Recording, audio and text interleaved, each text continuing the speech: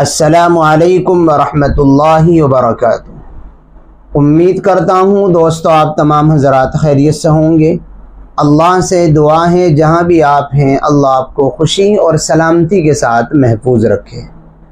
दोस्तों, आज की इस वीडियो में हम आप हजरात की खिदमत में चार बड़ों की चार बड़ी बातें बतलाने वाले हैं।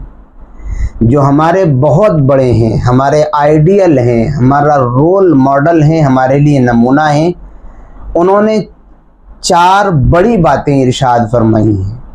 उन चारों बड़ों की चार बड़ी बातें बतला रहा हूँ। बड़ी बड़ों की बातें भी बड़ी होती हैं और वो ज़िंदगी में बड़ा सबक सिखलाने वाली, ज़िंदगी में बड़ी रहबारी, रहबरी और रहनुमाई करने वाली होती हैं।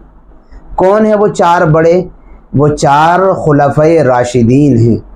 हज़रत अबू बकर सिद्दीक़ रज़ी अल्लाह तन हज़रत फ़ारूक़ आज़म रज़ी अल्लाह तन हज़रत उस्मान गनी रज़ी अल्लाह तन हज़रत अलीमरतज़ा रज़ी अल्लाह तन चारों की एक एक बात, चारों की एक एक नसीहत आपकी खिदमत में मैं इस इरादे से पेश कर रहा हूँ, शायद अगर हम इनको अपना लें तो ज़िंदगी के किसी मोड़ पर शर्मिंदगी उठाने से बच जाएँ।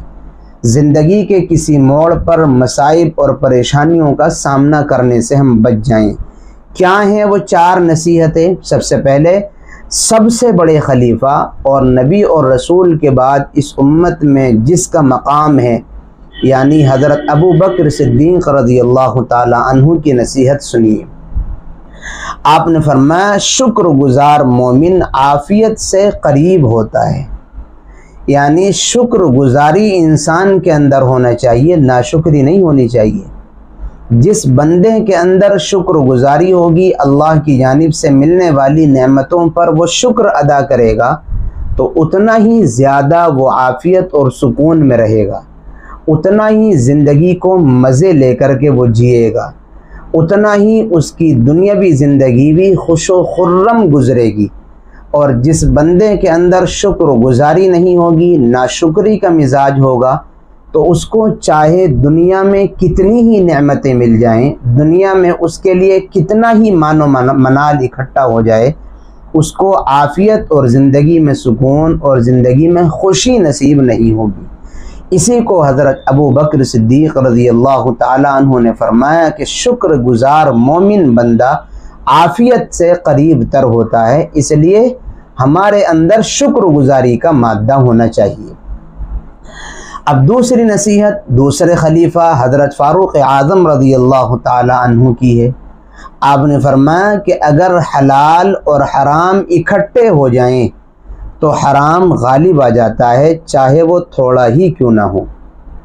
अगर हलाल और हराम दोनों इकट्ठा हो जाएँ, जायज़ और नाजायज़ दोनों इकट्ठा हो जाएँ तो उन दोनों में हराम गालिब आ जाता है, हराम आगे निकल जाता है।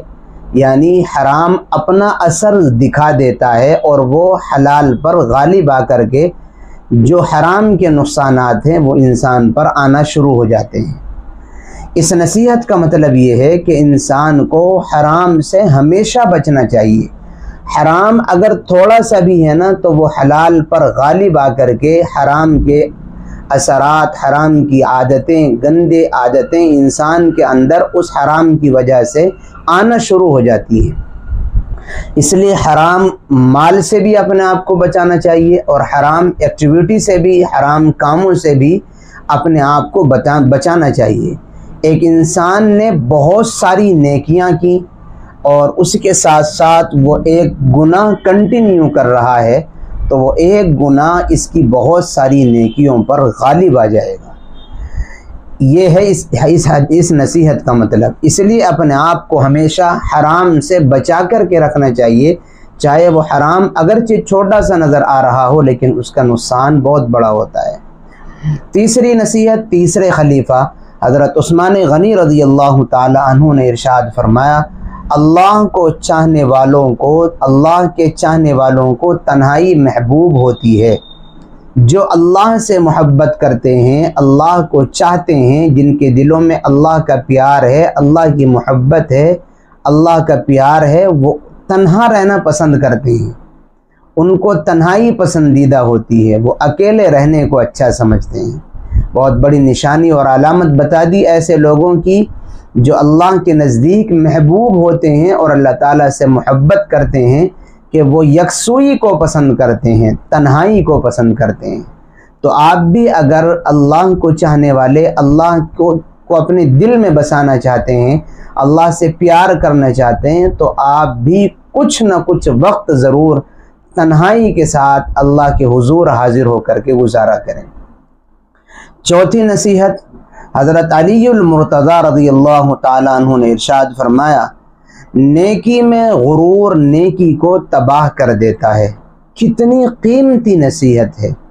आपने फरमाया कि नेकी में गुरूर तकबर और बड़ाई का आ जाना कि मैंने इतनी नमाज़ पढ़ ली, मैंने इतना खैरात कर दिया, मैंने इतनी रिफाही काम कर लिए मैं इतना सोशल वर्क करता हूँ, मैंने इतने पैसे सदका कर दिए, मैंने फ़ुला को इतनी ज़रूरतों पर उसकी काम आ गया। ये गुरूर है, नेकियों में ये तकबर है और ये नेकियों में गुरूर और तकबर आने के बाद ये नेकी को ख़त्म कर देता है। इसलिए नेकियों में गुरूर और तकबर और बड़ाई नहीं आनी चाहिए, वो खालिस अल्लाह के लिए होनी चाहिए। कि मुझे अल्लाह ने तोफ़ी दी तो मुझसे ये नेकियाँ हो गई और मैंने ये कर ली। और अगर अल्लाह तोफ़ी न देता तो कुछ भी ना होता। ये सोचना चाहिए। उम्मीद करता हूँ आपको ये बातें और ये नसीहतें बहुत पसंद आई होंगी। दोस्तों तक शेयर कीजिए, दुआओं की दरख्वास्त है। फिर मिलेंगे इन किसी नई और अच्छी वीडियो के साथ। असलकम वरहमल वर्का